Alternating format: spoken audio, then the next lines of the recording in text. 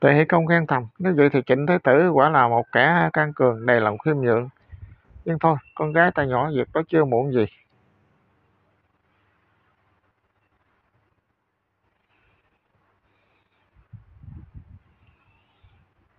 Một hôm, Trịnh Trang Công đang thương nghị với quần thần.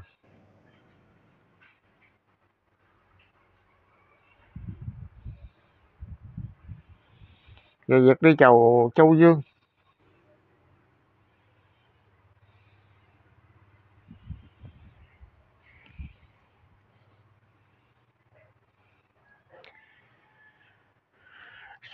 Phải có tin báo rằng công tử nước vệ là Chu Hu đã giết ừ, vua vệ Hoàng Công mà xót vậy. Trịnh Giang Công thất kinh vỗ tay xuống bàn than.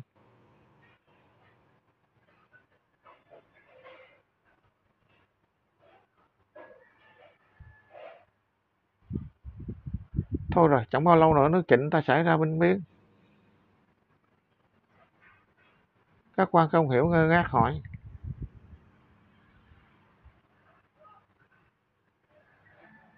Do đâu mà chú Công lại tiên liệu như thế? Trịnh cho Công nói. Chú Hu là một đứa hung hăng.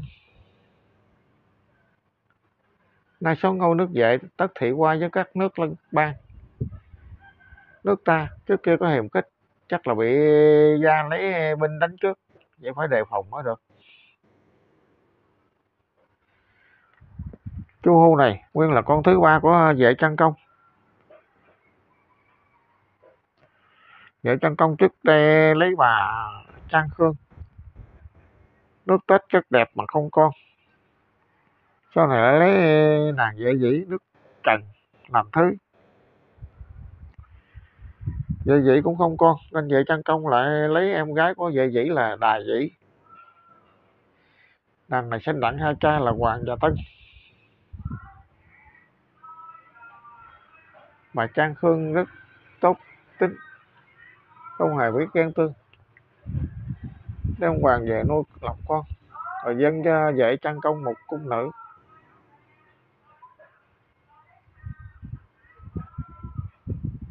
Rồi cung nữ này sinh được một trai, tức là chu hu. Chu hu tánh hung bạo, nhưng dạy trang công lại rất yêu quý.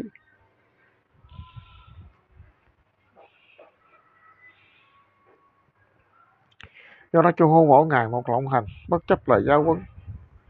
Thạch thác thế thế, đã nhiều lần khuyên dạy chân công.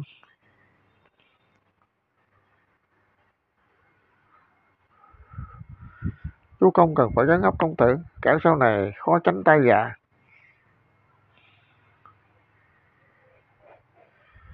còn thạch thác là cũng là một đứa con trai của thạch hậu.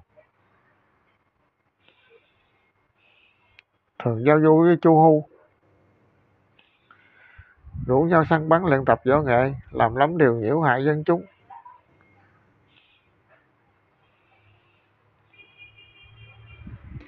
Thạch thác cả giận đánh đập nhiều lần, nên thạch hậu bỏ nhà vào thành ở luôn với chu hu.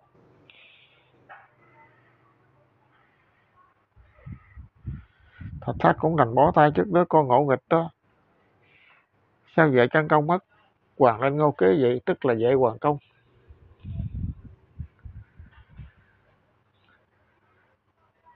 Vậy hoàng công vốn nhu nhược không làm được việc lớn. Thạch thác thấy thế, cáo quan không tham dự triều chính nữa. Lúc bây giờ chu hu không còn kiên nể ai nữa, mưu tính với thạch hậu toan việc cướp ngôi.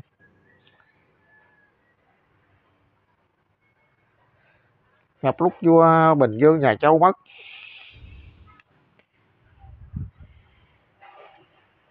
Vệ Hoàng Công sắp sửa đi điếu tang. Chu Hô nhận uh, được dịp bàn với Thạch Hậu. Thạch Hậu nói.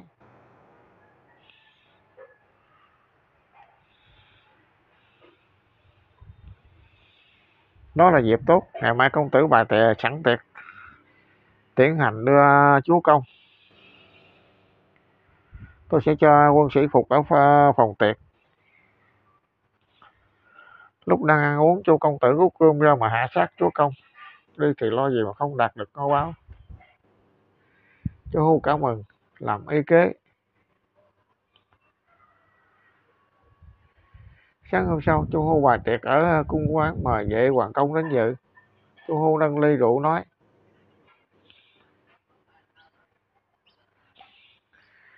nay quân hầu đi xa, em xin có ly rượu tiễn hành.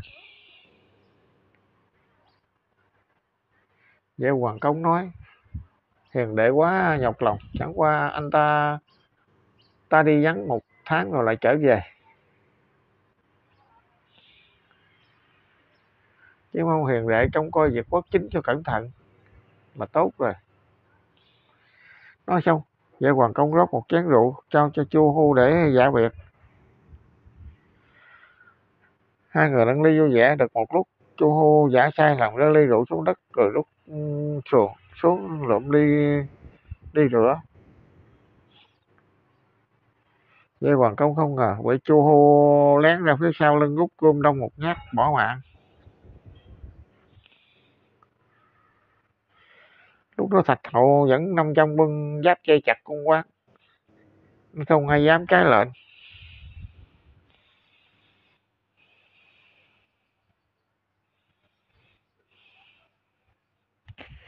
Giết chạy hoàng công xong chu hô lên tức dị và không cho thạch hầu làm thượng đại phu.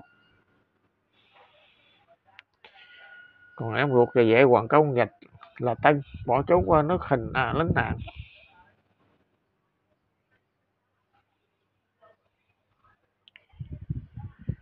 Vừa lên ngô được qua ngày chu hô nghe dân chúng bàn tán giật mình, giật anh số ngô, lòng bực tức kêu thạch hậu vào hỏi ý kiến.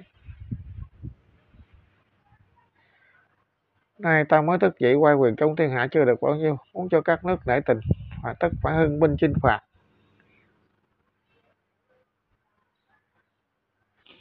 Nghĩ theo ý ngươi, nên đánh nước nào trước, thạch hậu tâu. Các lân quốc đều chẳng có thù hiềm chi, như có nước trịnh, trước kia có thù hiềm với ta việc công tôn hoạt tiên công đã nhượng bộ ô cầu hòa trong lúc quân trịnh kéo tới hòa cõi.